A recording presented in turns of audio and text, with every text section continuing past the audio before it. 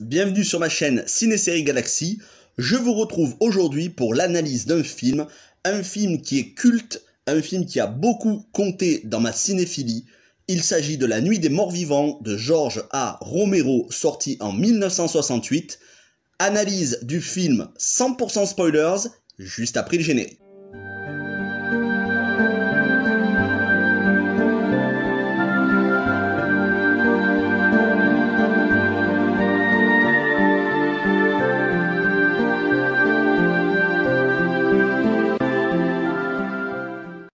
En premier lieu, il convainc de parler un petit peu de l'origine du film, les conditions notamment budgétaires et notamment en matière de réalisation dans lesquelles il a été tourné. Le film est tourné en 1968 pour un budget de seulement 114 000 dollars et s'avérera au final être un immense carton, un carton planétaire à 30 millions de dollars de recettes bien qu'aujourd'hui, en 2021, ça nous paraisse être très peu, pour l'époque, c'est un immense succès, surtout par rapport à son budget.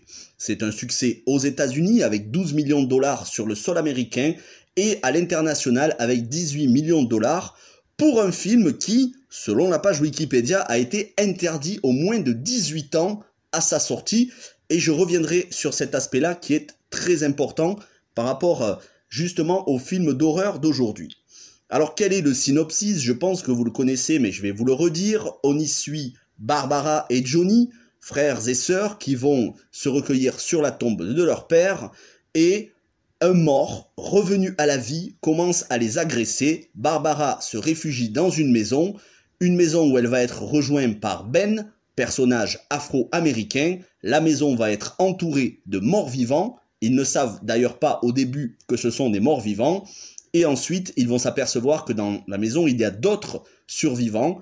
Ils vont s'entraider, tant bien que mal. La maison étant entourée de ces hordes de morts vivants qui essayent d'y pénétrer. Et ils vont apprendre ce qui s'est passé, la chute de la civilisation, la chute du monde, à travers la radio et la télévision. Tout ça va se passer à la fin de la journée jusqu'au lendemain matin, donc de nuit, d'où le titre du film La nuit des morts vivants. Et au lendemain matin, on va un petit peu découvrir ce qu'il est advenu du pays puisque le film se cantonne aux États-Unis. On n'a pas trop d'informations sur ce qui se passe euh, dans le reste du monde. On a, c'est peut-être ça le point le plus important pour moi, l'explication de l'origine. Vous savez, si vous suivez mes vidéos The Walking Dead notamment, je suis euh, non pas un spécialiste, mais je maîtrise l'univers The Walking Dead qui est un de mes univers préférés peut-être plus que DC Comics et Marvel, voire peut-être même plus que Star Wars.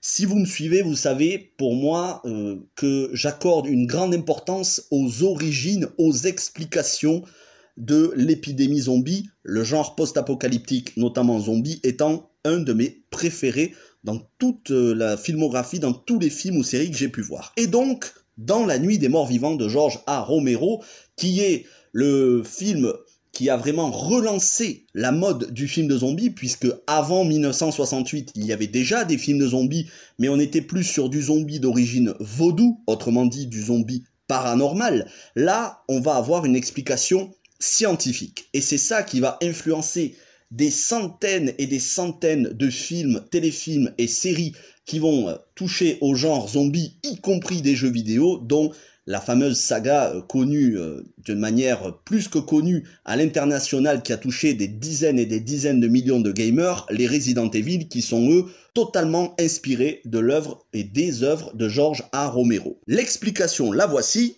Un satellite envoyé par l'armée américaine qui tournait autour de Vénus, la planète Vénus, a été irradié et revenu aux abords de la Terre mais en raison des radiations et du danger qu'il faisait courir, a été abattu par l'armée américaine. Malheureusement, les radiations ont touché la Terre, ont traversé la Terre et ça a réanimé les morts, mais ça a aussi contaminé les vivants au niveau de leur ADN.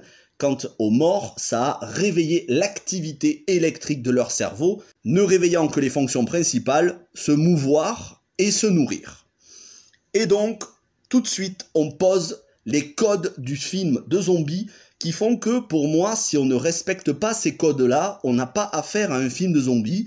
Et malheureusement aujourd'hui, on a tendance à dire beaucoup de films sont des films de zombies alors qu'ils ne le sont pas, car ils ne respectent pas, pour certains, les codes suivants qui sont la base de l'univers de George A. Romero.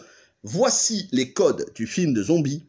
Les morts reviennent à la vie, que ce soit dans les cimetières, les morgues ou les endroits où ils sont exposés, qu'ils soient entiers ou partiels.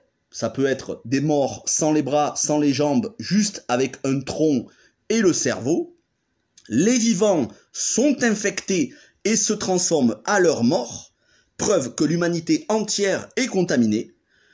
Quand on est mordu, on tombe dans un état de léthargie, de forte fièvre, de coma, puis on meurt et au bout de quelques minutes, on revient à la vie transformé.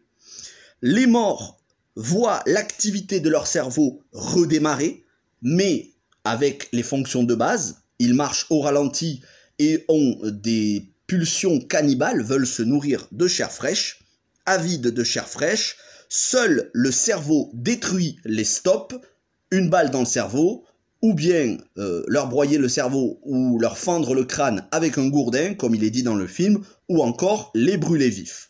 Voilà les codes du film de zombies. Et enfin, dernier et non des moindres, les zombies ne courent pas. Bien que le mot zombie ne soit pas employé dans le film, il s'agit du zombie New Generation, j'ai envie de dire, c'est-à-dire le zombie qui n'est pas d'origine vaudou c'est plutôt un mort-vivant, un réanimé, un infecté, appelez ça comme vous voulez, ça n'est plus le zombie de la culture haïtienne que l'on pouvait avoir dans certains films, non, il s'agit d'un zombie d'origine scientifique. Il est à noter dans le film que, à un moment, une zombie, la fille de Hélène et Harry Cooper, deux survivants qui sont dans la maison avec Barbara, Ben et d'autres, leur fille qui a été mordue et qui finit par se transformer, tue la mère, mais la tue avec une truelle, sans la mordre. Et elle la tue avec une truelle de manière mécanique, elle ne peut s'empêcher frénétiquement de tuer sa mère. Faut-il y voir une inspiration pour John Carpenter de Michael Myers, la fille de Helen Cooper assassinant sa mère à l'image de Michael Myers avec son couteau qui parfois s'en prend à des cadavres qui sont déjà morts? Peut-être John Carpenter a-t-il été influencé par cette scène-là. Je n'en ai pas euh, l'affirmation, je ne peux pas l'affirmer, je n'en ai pas la confirmation. Toujours est-il que La Nuit des Morts Vivants a influencé énormément de réalisateurs de films d'horreur. Et donc j'en reviens au point intéressant que j'ai découvert sur euh, la page Wikipédia du film. Le film a été interdit au moins de 18 ans à sa sortie. Et quand on voit le film aujourd'hui en 2021, on s'aperçoit qu'il est très peu violent. Alors déjà, il est vrai que le film est en noir et blanc, en noir et blanc de manière involontaire à cause du budget réduit du film, puisque George A. Romero voulait le faire en couleur, et c'est pour ça qu'ensuite il demandera à Tom Savini d'en faire le remake en 1990, que j'aborderai un jour sur la chaîne, très probablement dans pas longtemps, mais le film est en noir et blanc, il n'y a pas énormément d'effusion de sang, même s'il y a quelques scènes choquantes où on voit un cadavre, notamment le cadavre dans la maison qui est déchiqueté, le cadavre d'une habitante ou d'une personne qui s'était réfugiée qui est déchiqueté, mais il n'y a pas d'énorme effusion de sang. À ce titre, lorsque nos personnages essayent de repousser des zombies qui essayent d'envahir la maison et qu'ils leur donnent des coups de couteau sur la main, on voit très clairement que les doigts sont en pâte à modeler, en cire, il n'y a pas d'effusion de sang, et même lorsque deux personnes, deux personnages s'aventurent hors de la maison pour euh, se réapprovisionner à naissance et que malheureusement ils explosent dans leur voiture, on ne voit pas les cadavres, on voit juste les zombies qui ensuite, autour de ces cadavres, se nourrissent de la chair qui est encore fumante, mais très clairement, on n'est absolument pas dans une effusion de gore extrême. Et pourtant, le film est considéré pour l'époque comme gore, comme violent graphiquement, comme choquant pour une partie des gens, c'est pour ça qu'il est interdit au moins de 18 ans. Quand on voit aujourd'hui qu'un film comme Halloween Kills ou beaucoup d'autres slashers interdits à peine, interdits au moins de 12 ans, qui sont d'une effusion extrême de violence, d'un gore absolu, quand on voit que les gens aujourd'hui ne sont plus choqués, alors que le film, ce film, La Nuit des Morts Vivants, à l'époque est considéré comme une œuvre choquante, on peut se poser la question de savoir notre rapport à la violence si aujourd'hui on n'est pas devenu beaucoup trop insensible. Il y a quand même une différence de taille entre La Nuit des Morts Vivants, qui était non pas tout public, mais qui restait quand même une œuvre abordable pour la plupart des gens, mais qui aujourd'hui euh, est considéré comme à peu près tout public, et des films qui aujourd'hui sont ultra violents et qui sont regardés par des enfants, parfois même des enfants en bas âge. Donc euh, il faut quand même se poser cette question, ce rapport à la violence qu'on peut avoir, ce rapport à l'insensibilité, l'insensibilisation, la banalisation à la violence, c'est un aspect très important et moi, vous le savez, je déteste la violence gratuite qui n'a d'autre but que de fasciner et de faire une espèce de, de culte morbide autour de cette violence et une exploitation commerciale. Ça n'était pas le but de George. Romero avec ce film, et ça n'était pas non plus le but de John Carpenter avec Halloween. Preuve que les grands réalisateurs ont des idées, et leur idée principale, ça n'est pas la violence, c'est l'ambiance, c'est la terreur, et c'est euh, une manière de réaliser qui met en avant tout ça sans forcément de grandes effusions de gore qui sont une facilité au niveau de la réalisation, au niveau scénaristique, mais qui bien souvent n'apportent pas grand-chose, voire détériorent la qualité intrinsèque de l'œuvre. Parlons un petit peu maintenant du sous-texte politique. Alors, Georges Romero euh, ne s'est jamais caché qu'il avait des opinions politiques vis à -vis de la guerre du Vietnam notamment, et le film sort en 1968 en pleine contestation contre la guerre du Vietnam de la part des Américains. Faut-il y voir un sous-texte politique? George A. Romero a toujours euh, dit que son film n'était pas une œuvre totalement militante, encore moins vis-à-vis de toute la ségrégation raciale, puisque c'est un des sous-textes politiques qui a été prêté au film. Toujours est-il que c'est reconnu quasi à l'unanimité par les critiques de presse depuis maintenant plus de 50 ans, le film serait une métaphore de la guerre du Vietnam, ça serait aussi une métaphore de la guerre froide avec les soviétiques qui seraient représentés par les zombies, mais ce serait surtout une métaphore du racisme et de la ségrégation raciale aux États-Unis. On est en 1968 lors de la sortie du film, année où Martin Luther King s'est fait abattre. Et d'ailleurs, le héros du film, est noir et se fait abattre dans un pessimisme absolu à la fin du film par des chasseurs blancs, des chasseurs redneck, c'est-à-dire l'Amérique un petit peu blanche suprémaciste, bien que George A. Romero lui-même a toujours nié ce côté militant en disant que il n'avait pas embauché l'acteur Dwayne Jones, qui était un des rares acteurs afro-américains à l'époque à avoir un rôle principal dans un film.